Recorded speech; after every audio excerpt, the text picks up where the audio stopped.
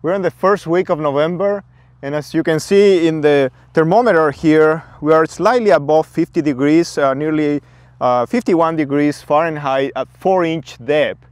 Uh, as we know this year, uh, with the high fertilizer prices uh, for nitrogen in particular, we're really looking for options to how we can maximize the use of every pound of nitrogen that we are putting out there.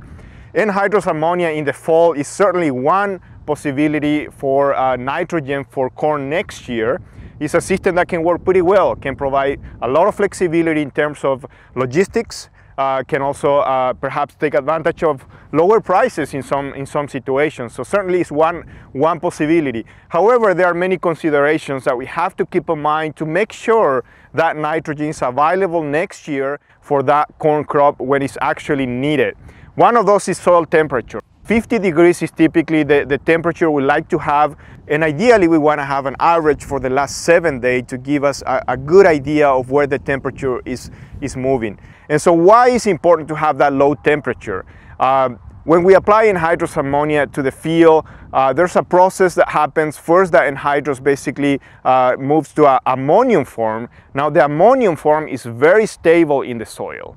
Uh, the ammonium can stay there and is uh, immobile and, and we, are, we don't have any risk for losses. However, the second step is the nitrification process, which is basically conversion from ammonium to nitrate.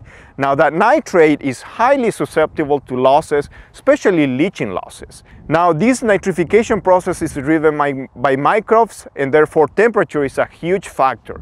Now, if we're doing that anhydrous application after 50 degrees temperature and hopefully even lower temperature as we, we move into the winter, that nitrification process is gonna be minimum uh, and we're gonna keep most of that nitrogen in the ammonium form and hopefully available from when the corn is needed next year.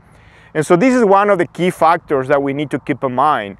Um, other things to consider for uh, nitrogen management in the fall for anhydrous uh, especially again as we may be trying to push and go maybe a little bit earlier in some, in some situations because of the uncertainty in prices, uh, is perhaps the use of nitrification inhibitors.